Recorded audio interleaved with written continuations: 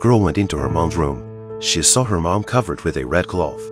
She pulled down the red cloth, but there was no one inside.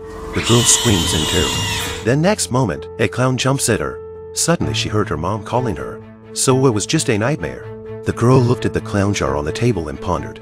Ever since her mom bought this cookie jar, she's been afraid of it. At night, she covered the jar with a cloth and took it out of the house. The girl went out into the street far from home and began to smash the jar. She smashed it for a long time to make sure it was completely broken.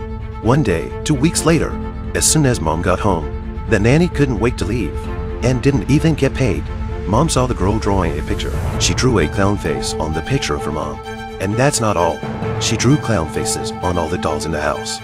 And then when she went to bed, she turned on a flashlight under the covers and said hello to the clown next to her. Mom bought that clown cookie jar to cut down on her daughter's cookie eating.